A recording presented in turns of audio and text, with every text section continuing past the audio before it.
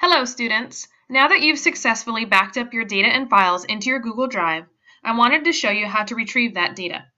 The first thing you will need to do in order to start this process is to log into your Google Drive using the Chrome browser.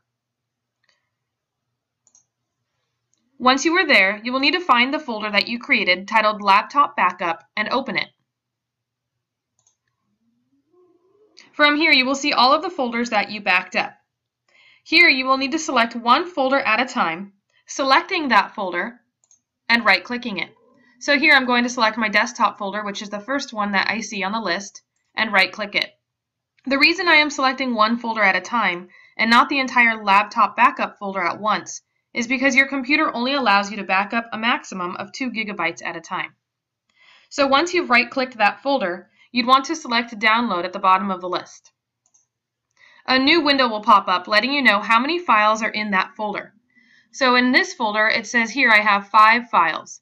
If nothing shows up in this window, then that means this, that this folder is empty.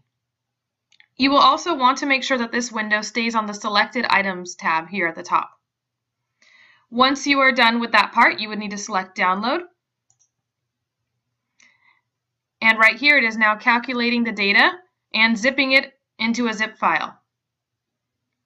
On the bottom left, you now see that this data is being compressed into a zip file. You want to open up that file, and you will see the folder is here now, ready to be dragged and dropped anywhere on your computer that you would like it to be. So I want my desktop folder to go right onto my desktop. So all I'm going to do is click it, hold it down, and drag it over the desktop icon. And you have to be really careful here that it goes in the right spot. And then I release it once I hover over desktop, and as you can see, it stays here in the downloads folder and it also goes to my desktop.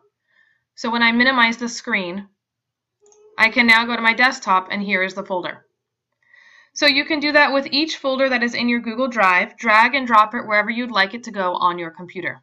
I hope that helps students. Have a great day.